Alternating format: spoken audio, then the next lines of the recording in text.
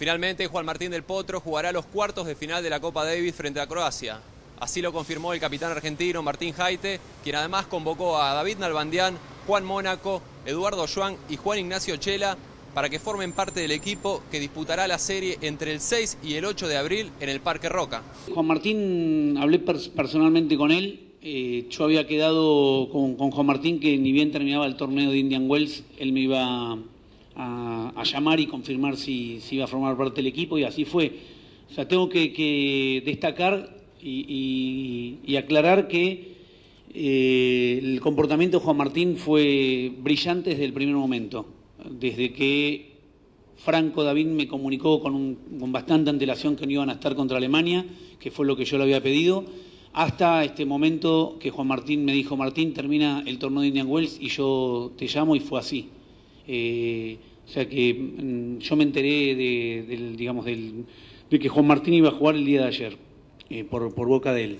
Eh, y también me transmitió que estaba muy contento de formar parte del equipo. La idea de, digamos, de conformar cinco jugadores tiene que ver con que se inició un, año nuevo en el 2012.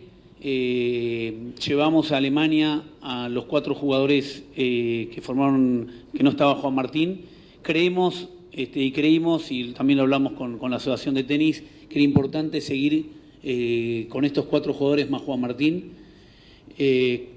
más allá del torneo de Miami, eh, y ya hablamos con los jugadores, la, idea es que Juan Ignacio Chela sea una alternativa por si llega a pasar, digamos, alguna, algún cansancio, alguna, alguna lesión o algo que le pueda pasar a, cualquiera de los otros cuatro jugadores.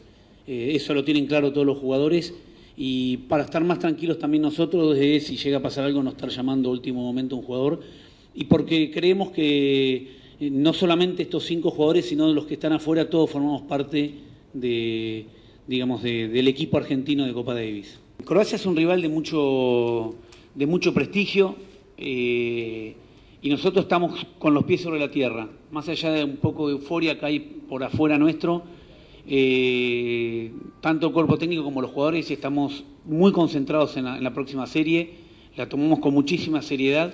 Croacia tiene jugadores eh, realmente muy peligrosos y así nosotros vamos a, encarar la eliminatoria con muchísima humildad y, mucha seriedad. Eh, vamos a iniciar los entrenamientos formalmente el día sábado, creo que es primero de abril, en Parque Roca, esperando también a ver lo que pasa con los jugadores que vayan viniendo de Miami, ¿no?